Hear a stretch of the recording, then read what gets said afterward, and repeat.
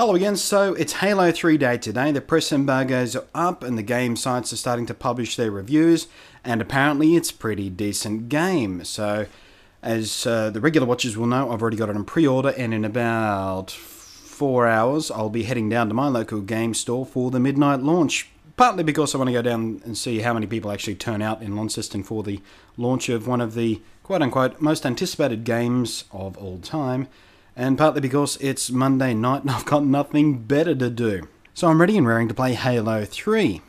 I'm uh, completely prepared to have my ear repeatedly raped by teenagers who think that the best way to communicate to other people playing games is to call them fags and noobs.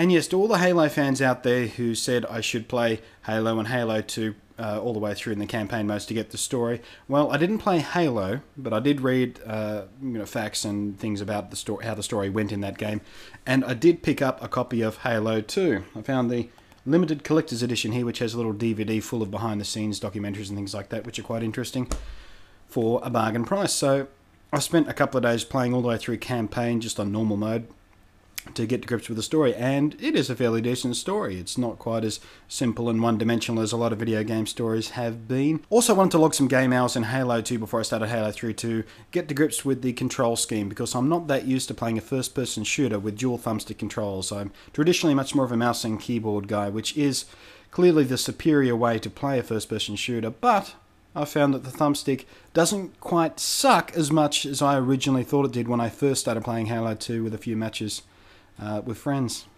So just quickly, a couple of things I did enjoy while playing through Halo 2, the campaign mode. Plasma grenades. Sticking them to the side of someone's head and watching it blow the living piss out of them is hilarious.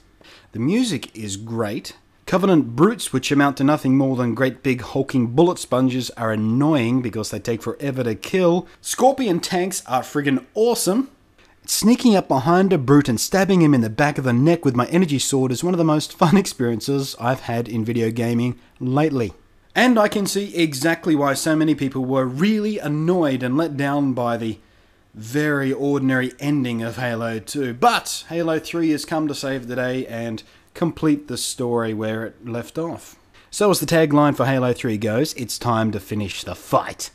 And just before I wrap this video up, my gamer tag, I've been, ever since I uh, put the first video up, even before I got the Xbox 360, when I was talking about thinking possibly maybe buying one, um, people have been hammering at me, message after message, comment after comment, email after email, wanting to know my gamer tag. And up until this point, I've resisted publicly displaying my gamer tag because I know the instant I do, my friends list will fill up in an instant. But you know what? It's easy enough to get rid of people who are dicks that I don't want to make friends list anyway. So I'm going to tell you all what my gamer tag is. Super Blunty.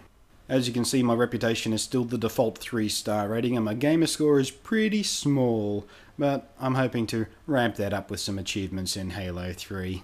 Because, you know, I figure it'd be a handy thing to have to have as many people as possible, as possible, possible, possible opponents in Halo 3. So when I do uh, decide to play online, I've got a list of people sitting there waiting for me.